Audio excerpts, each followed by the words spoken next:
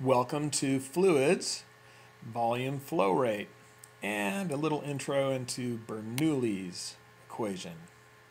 Can you say Bernoulli? Some questions to ponder. What are two ways fluids flow? What is viscosity? What is volume flow rate? And how does volume flow rate apply to pressure in nozzles? So there are two main ways that uh, fluids flow. There's laminar flow, sometimes called streamline flow, and this occurs when a fluid's particles flow in parallel streams next to each other, kind of like this illustration shows here.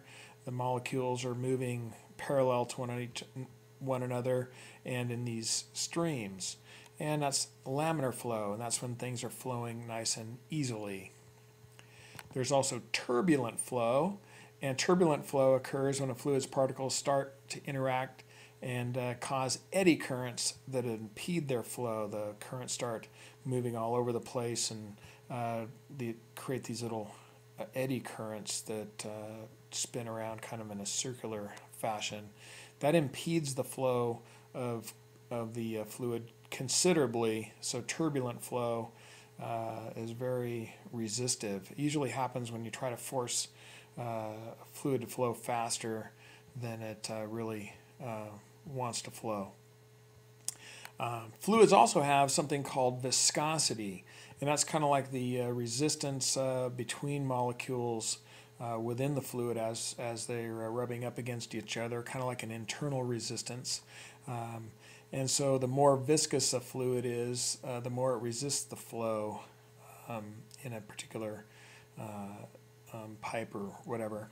Um, so in our systems, uh, we don't want to be turbulent, and uh, plus that's really complex, uh, the mathematics associated with turbulent flow. So all of our studies for fluid dynamics assume low viscosity, so the so there's easy flow like water, and then um, also laminar flow, where the the uh, flow is streamlined. Uh, that keeps all of our equations uh, manageable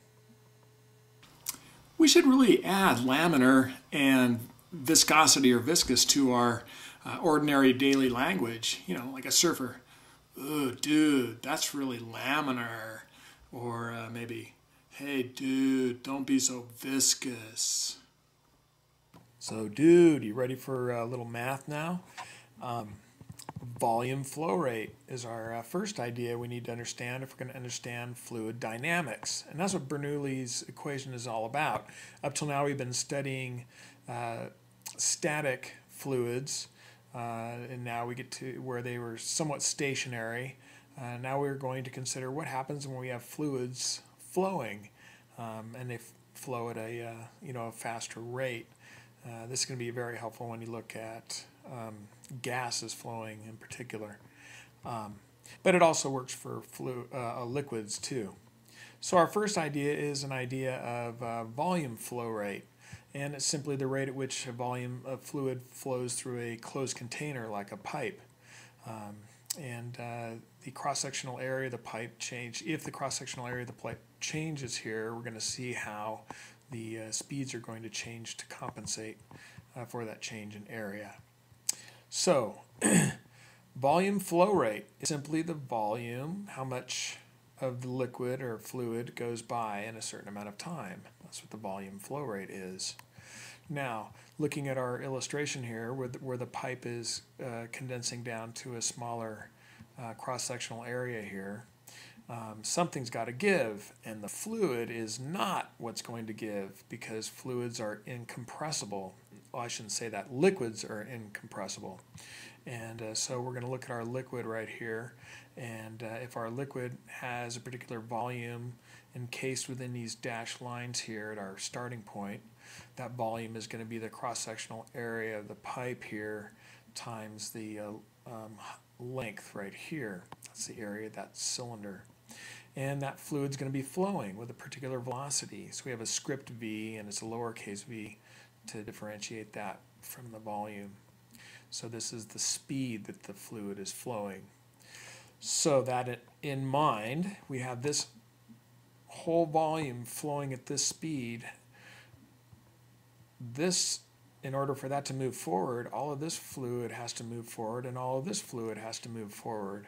Therefore, since the uh, pipe is choking down here to a smaller cross-sectional area, the uh, length here for our volume had to increase to have the same amount of volume here as we had over here.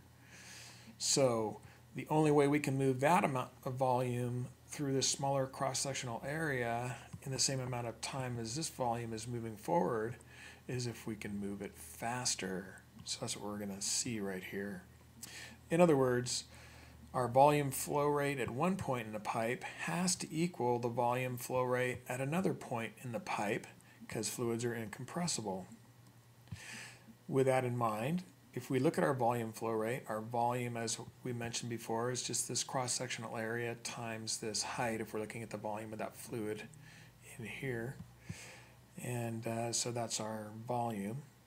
And while we're at this point, we can see that this length that the fluid moves from here to here, that length moved in a certain amount of time, uh, that's really the speed that the fluid is flowing. So another way to represent volume flow rate is to take the cross-sectional area of your pipe and multiply by the speed of the fluid. So if we look at our volume flow rate in this other section of pipe, we can see that the volume here, length times that cross-sectional area, right in this area, um, and then that length traversed in this amount of time is the speed of the fluid during at that uh, point in the pipe. So these two have to be equal since the fluid's incompressible.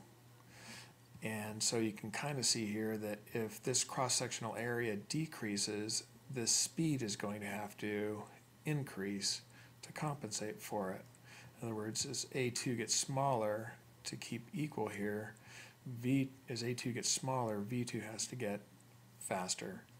And that's our equation we usually use for volume flow rate. This is the fundamental equation, but this is the practical application of it. And it's very useful. There's a close cousin, cousin to volume flow rate, and it's called the equation of continuity. Um, it is basically the same as our derived equation from the previous slide, uh, um, except that it accounts for fluid density, um, which is important um, because of uh, gases being compressible and so forth. And so gases will change their nature when they uh, they won't just change speed; they also change uh, volume and so forth and, and density.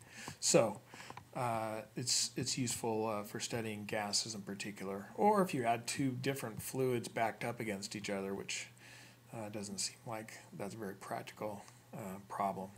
Anyway. Um, leaving off with our volume flow rate equation, the only thing we have to do to keep this consistent uh, in fluid dynamics is if our fluid changes characteristics like its density, we'd have to account for the density on either side of the equation as well. So um, if the density changes, then our volume flow rate equation uh, can change and become the equation of continuity like this. This isn't used very much, but uh, it is a little more um, exacting. Um, this is the equation that you really should memorize and know. Again, if you have the same density here and here, these would cancel, and you'd get back that equation anyway. Just didn't want to leave the equation of continuity out of the picture, though. Hey, we're uh, going to be checking out this uh, hose and the flow out of this hose and then we're going to be condensing that flow from the hose which has a uh, you know much bigger cross-sectional area then it's going to go into this side but then that cross-sectional area is going to be squeezed down to that little tiny amount right there and we're going to see how the uh, we're going to see how the flow rate changes uh, because of the area the cross-sectional area change between between these two can we see that? I think so.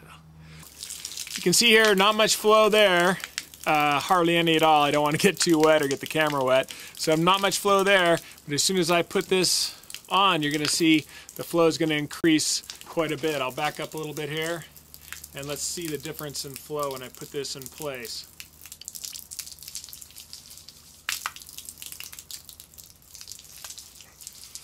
Look at that. Very narrow parabola here. Wow, big parabola there. Look at that. So considerable flow rate change. Actually, the flow rate's the same. Considerable speed change from the water coming out of the nozzle. So now that you've seen a practical application of volume flow rate, um, let's use a similar uh, kind of an idea here to do a calculation based on what you just saw. And uh, so give this a go. And when you're done, come on back to the video and see how you did. How did you do? What is the speed of water coming out of the hose? Well, we use our volume flow rate equation. And what we're interested in here is what is the speed coming out. So we divide both sides by A2 here. Um, and when we do, uh, divide it by A2 here. And I switch sides of the equation here too.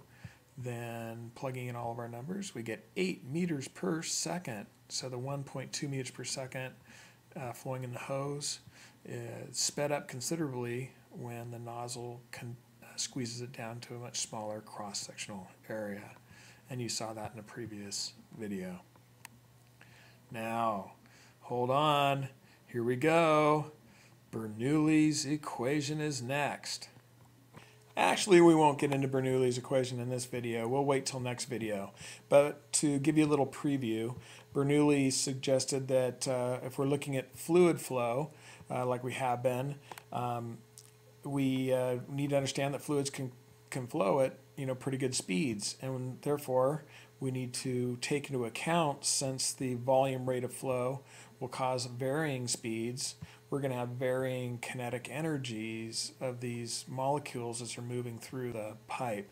Not only that, but uh, in in fluid systems, like if we have a water tower on a on a high hill providing water down the hill, um, we have different potential energies, and therefore we have different pressures based uh, on gravity, uh, different heights in a pipe.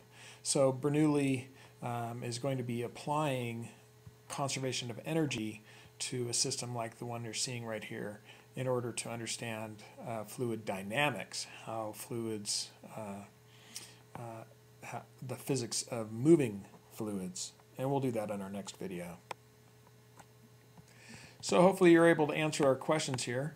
What are two ways that fluid flows? What is viscosity?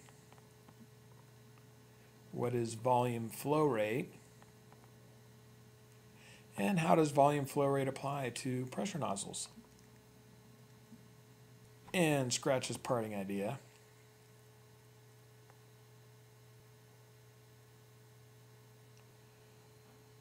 Well, it's not how fast, but it is uh, that you are always striving for continuous improvement.